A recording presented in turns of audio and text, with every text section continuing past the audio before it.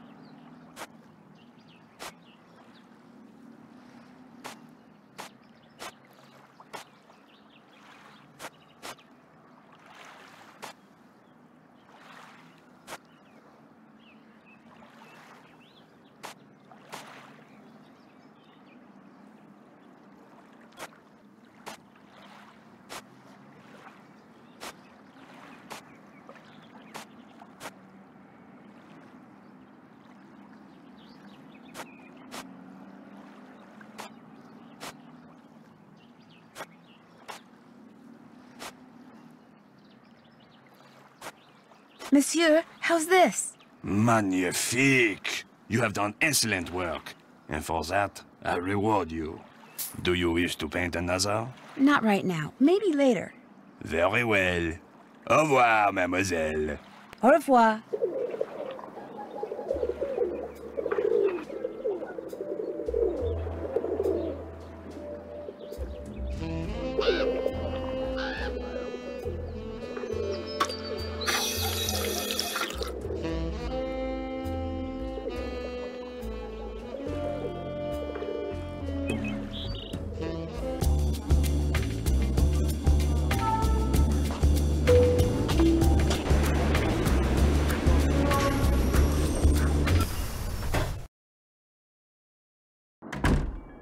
Come in, come in, set your things down and come on over here. Hi, JJ Ling. I shake your hand, but I get flour all over you. Oh, and Heather called and told me about your luggage. No worries. I have plenty of clothes in every size imaginable. Your bedroom's down that hall.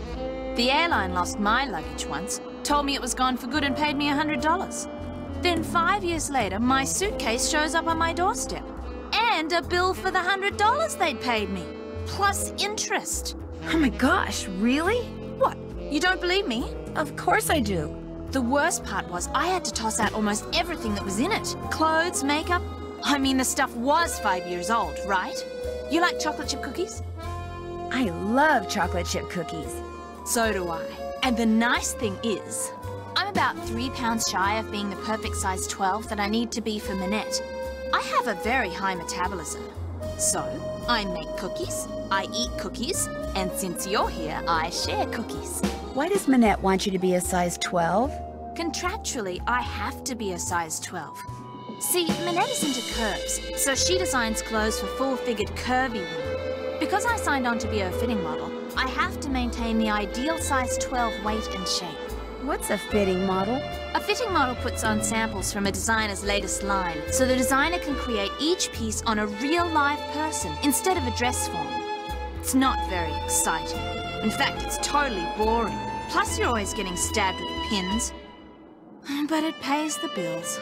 Can you think of anyone who might be out to get Minette? Well, Dieter, obviously. Dieter von Schwesterkrank?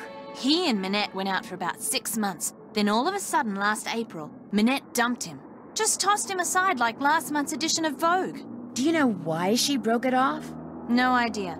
Although I suspect it has something to do with the fact that Dieter lets his pet boa constrictor run loose in that photographic studio of his. He has a pet boa constrictor? That's what I said. Don't you believe me? Well, I... I guess. Hardly anybody knows about it. I think it may be illegal. If you happen to be in there, be careful. Does anyone else live here? Nope, it's just me. And you now. Managed to get a short-term lease.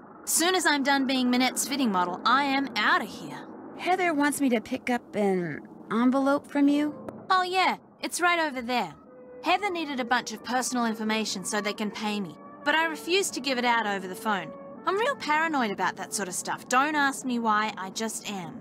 Go ahead and take it to her. See you later. Take care.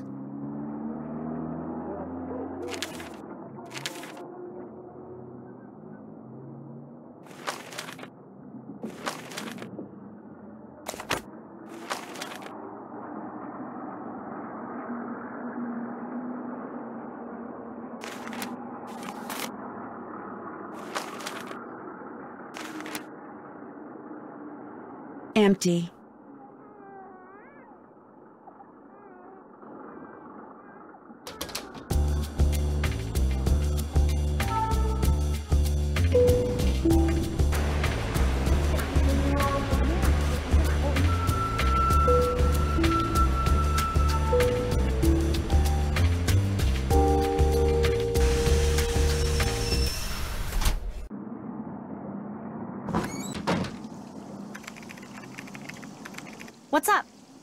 You work for Minette because you want to be a fashion designer too? Well, I studied at Rhode Island School of Design and Central St. Martin's in London, so I kind of like to think that I already am a fashion designer. I work for Minette mostly so I can develop some contacts and get a feel for the business end of things. When do you think you'll be ready to go off on your own? I don't know. Heather, my pencil's missing. It was right here and now it's gone. You walked off with it again. No, I didn't. Yes, you did. No, I didn't. I'm telling you, it's not here. Did you check behind your ear? Oh. When Minette fires me, that's when I'll go off on my own. And as you just heard, that could be any day now. Here's that envelope I picked up from JJ. I almost forgot. No problem. Well, I'll see you later. Whenever you have questions, just ask. If you need to talk to Minette, good luck. She's playing that ridiculous online game she's obsessed with and refuses to do anything else until she gets the highest score. It is so aggravating.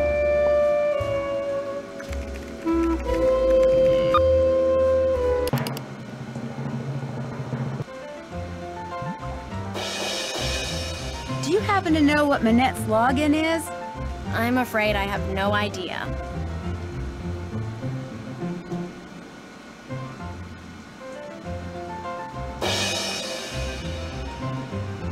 Right.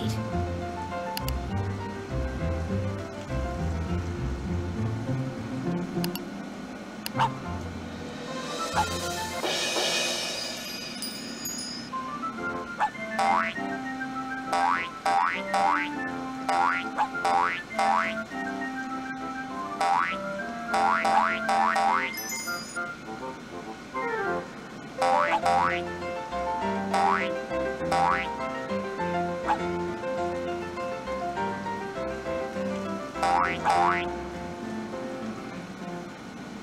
Bye.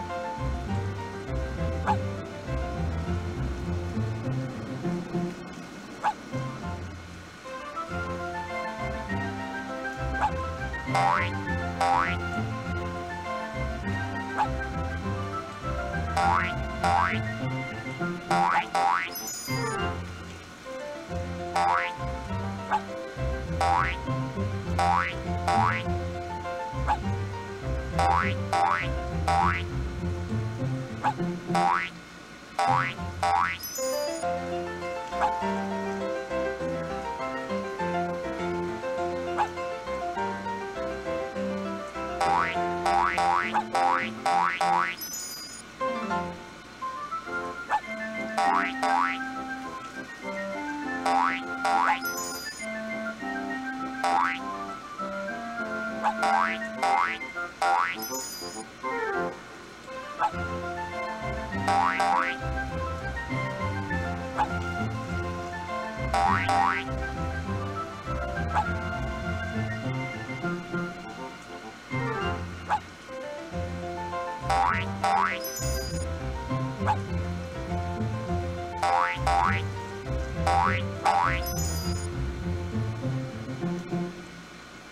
All right.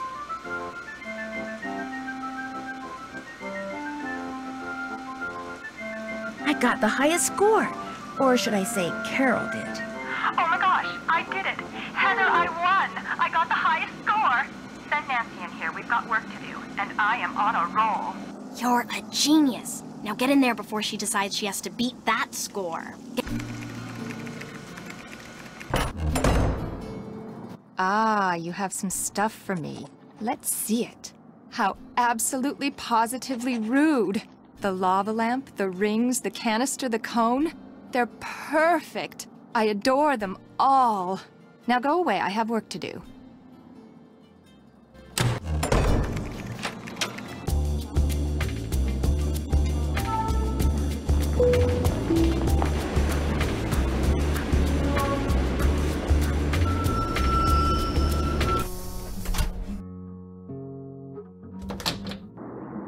No, no, don't say anything. Let me guess. You lost your passport, so you're looking for the American consulate to get it replaced. Only you wound up here because you asked a Parisian for directions, and you thought you understood what he said, only you didn't. Am I right? Actually, I'm looking for Dieter von Schwesterkrank. Dieter von Schwesterkrank. Please don't tell me you're a would-be model who thinks her career would take off if only I would photograph her. No, my name's Nancy Drew. Minette sent me here to pick up some fabric photos. Ah, I regret to say I have not printed them up yet, nor will I have time to do so for quite a while. Had I used my digital cameras, there would be no problem, but unfortunately, the essence of those fabrics was better captured by film. But I need to deliver them to that fashion editor, Jean-Michel Traquenard, today. My regrets once again. Do you know how to make prints? Uh, sure. Then all is well. There is a binder on the bookshelf that will tell you how to make prints with the paper I use, which is Krollmeister Eskachrome PB paper. The darkroom is through the door with the red light by it, and the four negatives from which prints need to be made are next to the enlarger. I'm sure you'll do fine. What's this? That's just a toy I made when I was a boy. Go ahead and play with it if you want. I still do. Nice camera. Is it digital? Yes, very high res though. Very limited capacity. Would you like to borrow it? I'd love to. Thank you. You're welcome. Just make sure you don't knock over anything in there. Some of those chemicals are extremely volatile. Help yourself!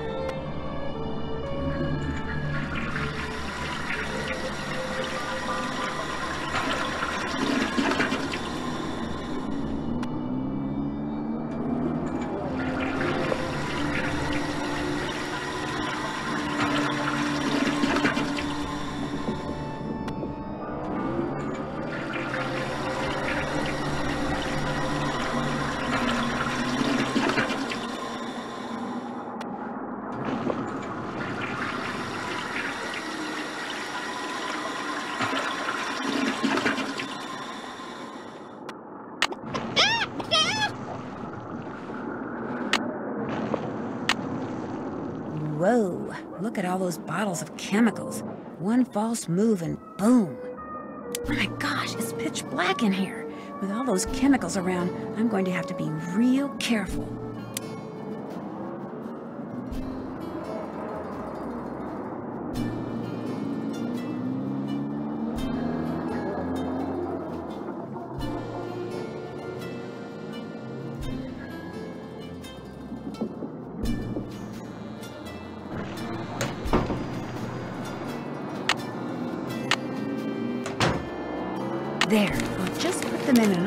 And I'll be all set.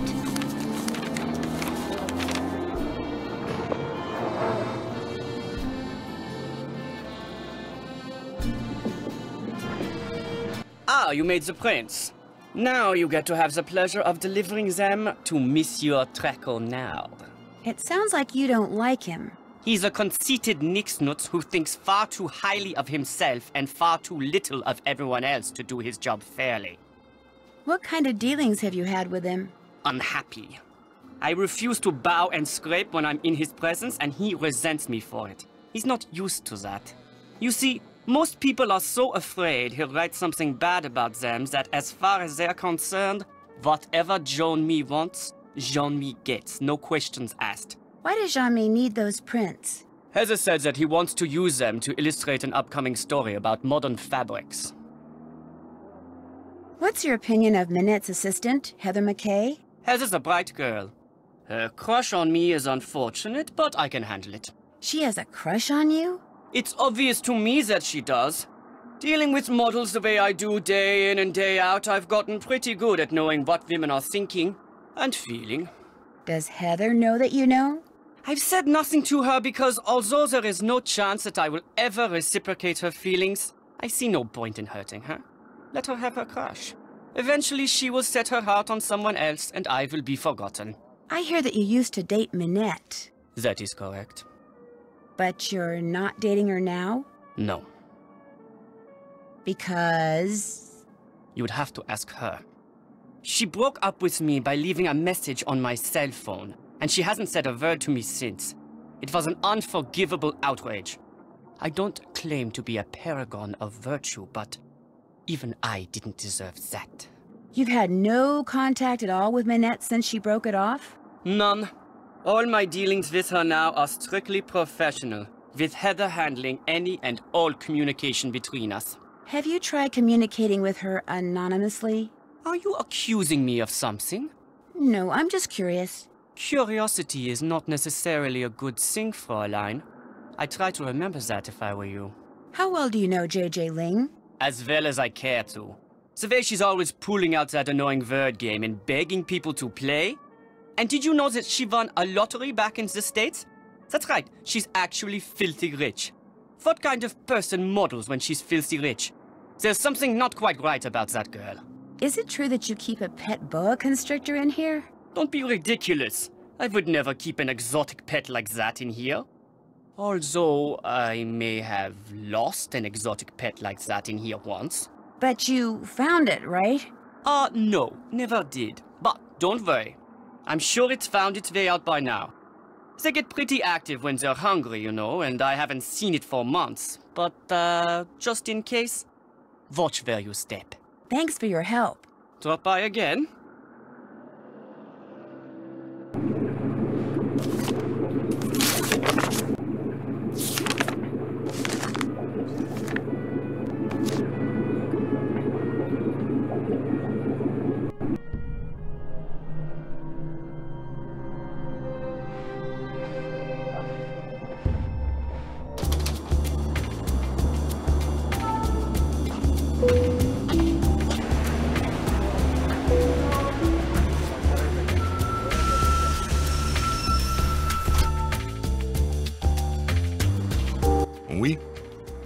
Excusez-moi, mais êtes-vous Monsieur Traquenard? Please, in English. I do not wish to hear my native tongue butchered while I eat. As for my name, pff, not Traquenard. It is Jean-Michel Traquenard. Jean-Michel Traquenard. Traquenard! Traquenard! Traquenard, Traquenard. Enough! What can I do for you, Mademoiselle? Uh, Drew, Nancy Drew. I've just started working for Minette as an assistant. oh? What uh, happened to Ezer? Uh, I'm not sure what you mean.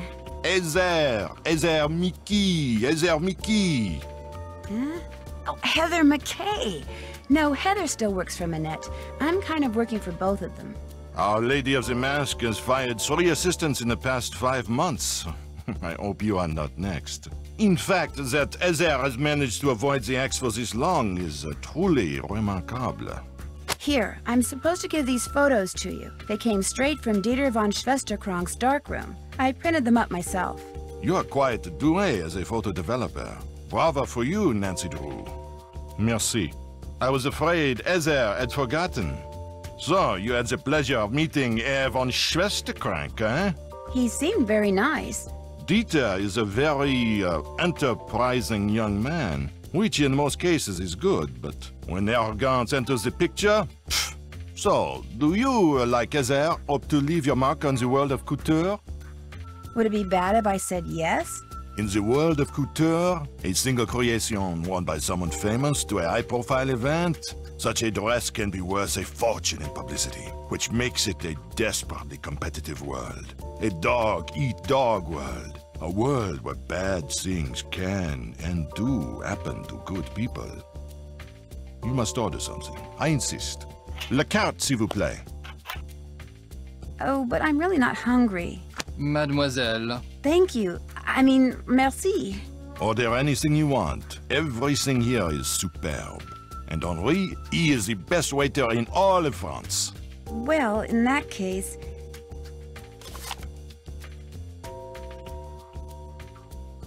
Let's see. The croque-monsieur, please. très bien. Merci. Henri, ajoutez-le mon édition, s'il vous plaît. Certainement. Ah, ham and cheese grilled on a baguette. One of my favorites. Yum. Mmm. Mm. I'm glad I ordered that. It was great. Excusez-moi, mademoiselle. So, what else do you wish from me? Do you have any idea why Minette wears that mask? I believe she is the victim of botched plastic surgery. Isn't Minette a little young to be undergoing plastic surgery?